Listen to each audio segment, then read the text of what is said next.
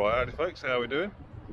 Now you remember me and Mucker went to Agritechnica just at the end of last year and uh, we had a look at the Merlo stand and had a look at specifically their multi-farmer but also um, which we're going to have a look at later in the year um, but first of all we're going to have a look at their 42.7 which is here uh, turbo farmer it's a 4.2 ton machine, 7 metre reach. Um, now we are in the market for um, for a change. Our loader is sort of well over 6,000 hours now and is due for, like I say, due for change and due for a bit of an upgrade because we're we're a three ton machine. We want to move up to the four ton. So uh, we've got this Merlo from Browns uh, to see what it's like.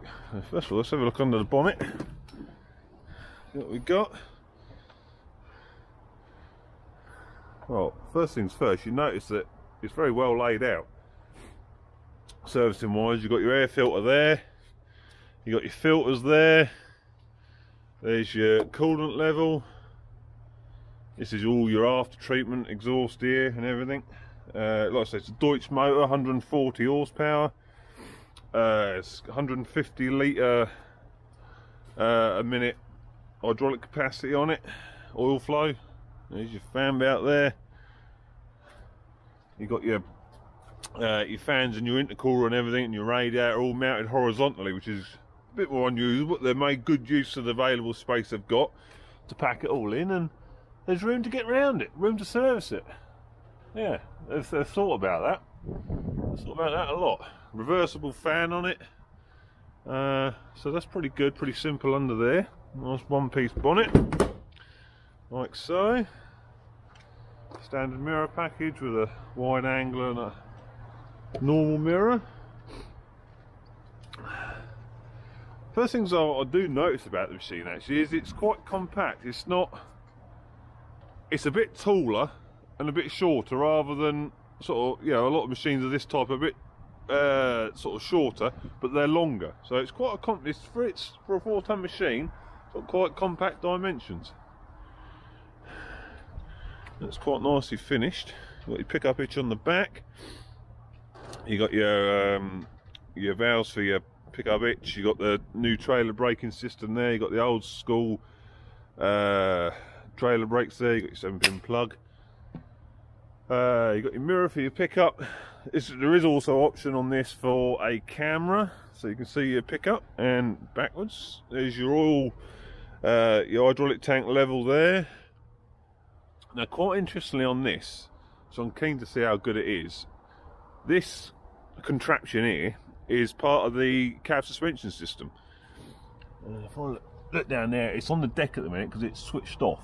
Um, when I switch it on, that plunger will move up and it gives it basically six inches of travel. So it should make, well, everyone says it makes a hell of a difference, so we will see. I'm keen to see how uh, how much of a difference it makes. But you know, it looks well put together. Right, it's shot on 460 Michelin's at the minute. They're on the uh, the XMCL tyres. Pretty good tyres.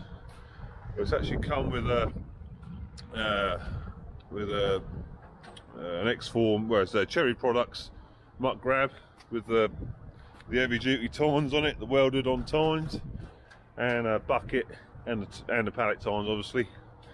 Uh, it's got the Merlo headstock, um, and it's got Merlo's um, hydraulic coupling system, which are a, uh, a screw-on system rather than the sort of quick fit, but that's what Merlo use.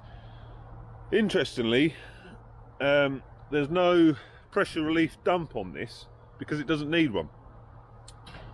As soon as you let go of the joystick and you're not doing an operation with it, there's no pressure in the system. Um, and to get around that on the on the look at the attachments and that, you've got check valve in it, so that the you know the grab won't creak when you when you let go of the of the of the rock, rocker switch. It'll stay where it is, but you can just look. See, I've not took the pressure off. There's no pressure on it. You can just undo them, do them back up, just hand tight. Um, and that's a blooming good idea, I think. good idea. So yeah, there's never any pressure in the system, only when you know you're doing an operation with it. You got your tow hitch there if you need it, um, and you got your your battery isolator there. So there you go. It's pretty simple, really. There's the front half of the uh, the cab suspension bit there. Got a curved screen. There you go. This machine runs on AdBlue, so you've got your AdBlue there. And that'll be your diesel. Simple as. Right, so there you go. Let's quick walk around. We'll have a quick go in it. Um, but there'll be a two, you know, two or three more videos of doing various jobs with it. So uh, I'm going to do uh, start loading the feeder wagon up and see how we get on with that. So let's crack on.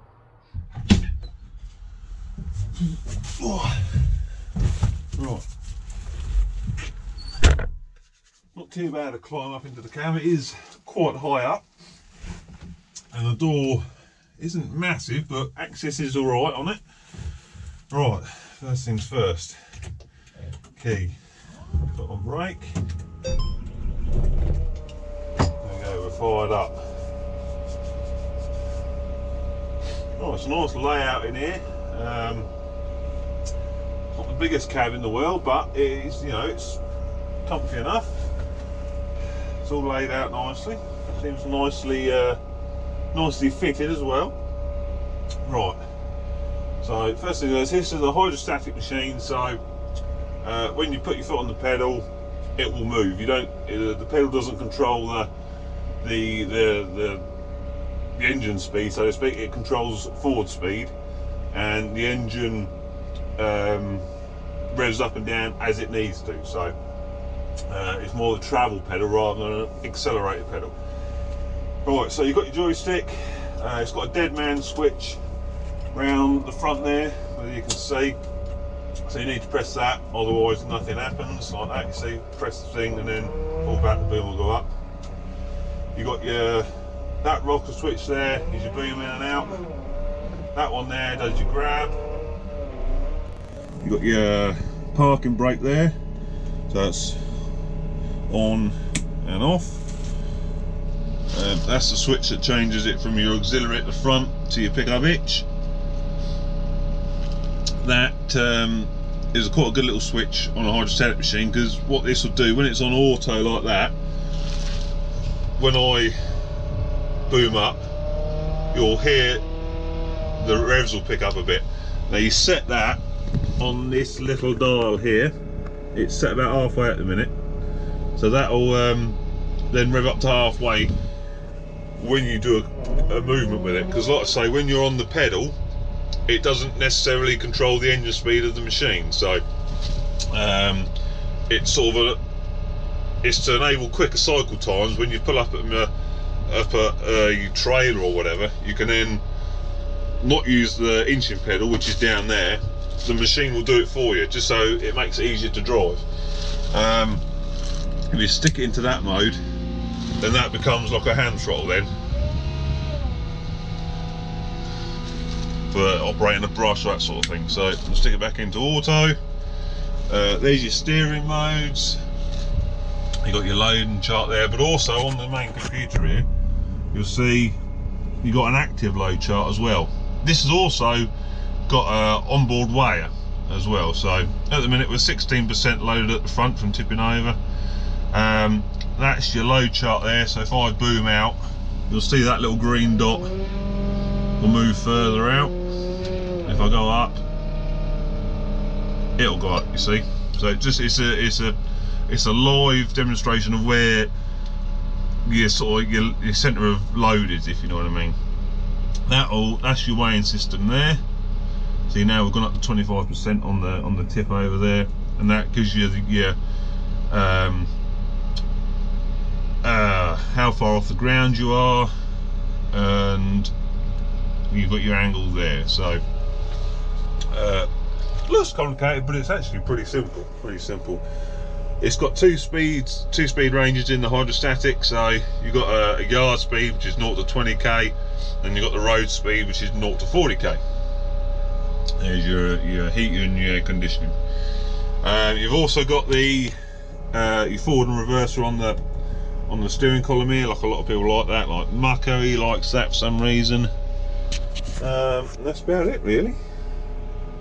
You've got that big green dial there. That does control your your dash. That's about it, really. Let's uh, let's have a go in it.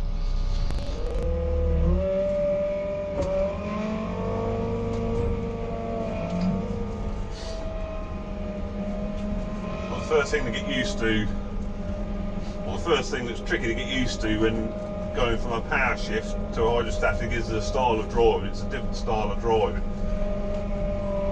So you've got to get used to that first.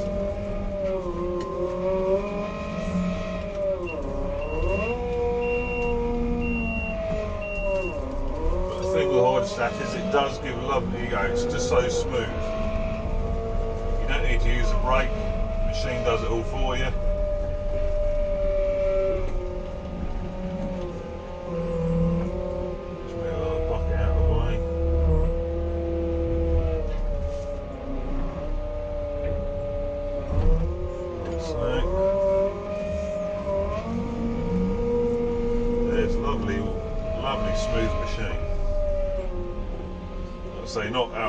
Touched the brakes yet. Just let off and it brakes for you.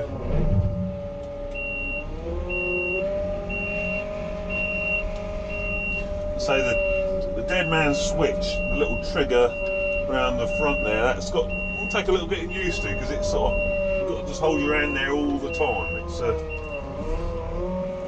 well, I know they have to add these things now for health and safety and all that, but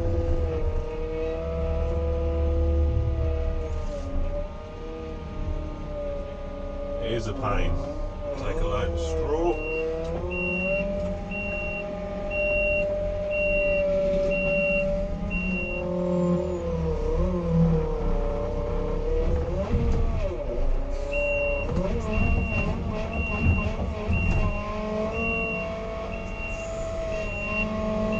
There's good visibility on it. That is the bonus of being up high. You can, you know, can see every corner of the machine. A little bit of a struggle to the back corner. I can just see the back corner. The exhaust is there, but it is visible just. But apart from that, you've got a, yeah, you've got a good view from it.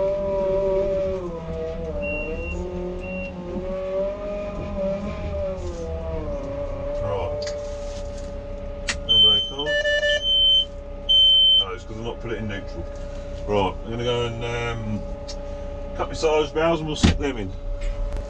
Right, click. Right, so we can pick these um, these valves up. Might be a little bit awkward because uh, I've got the right uh, muck grab, so to speak, for them. But uh, see how we get on.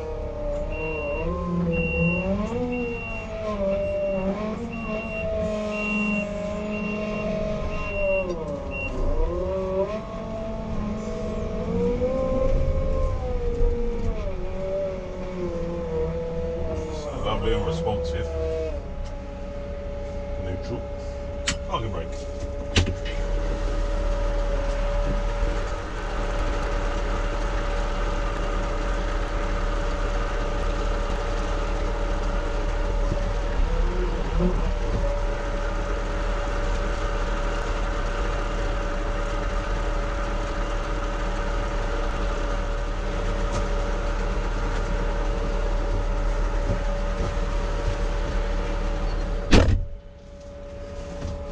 Although it's quite high and it's quite a narrow door, it's still it is still easy to get in and out. I've not had a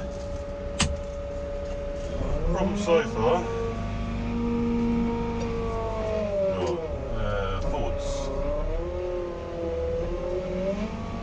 So it's a new machine, controls are different, you still have to just have a little think about what you're doing for uh, before you do it. It's not just um, a machine you just get on and just drive, is it? Like it's, uh, you know, 'cause it's different. Right, get the other one out.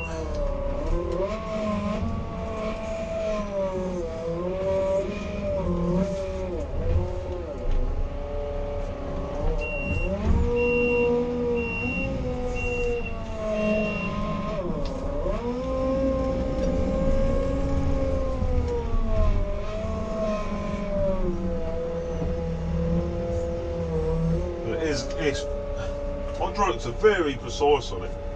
Very precise. Clamp you up. And up you go. Uh, plug the brake off. And the forward.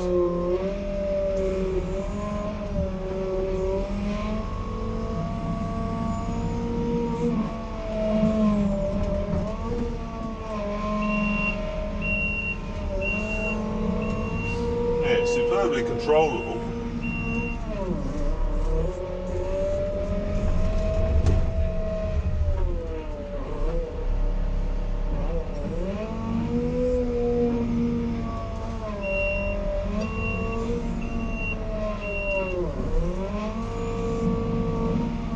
I'm not having to wait for the boom or anything and having to rev it up. There's plenty of uh, hydraulic speed in the boom and the cycle time. Oh, well, there you go. First impressions are good. Uh, I quite like it. Seems nice and responsible, uh, nice and responsive, manoeuvrable, good visibility on it. Yeah. Uh, well, I shall put it to a few more tests, uh, and they'll come up in the next few videos. Uh, but yeah, hope you enjoyed that little video, and uh, I'll see you on the next one. Ta-ta!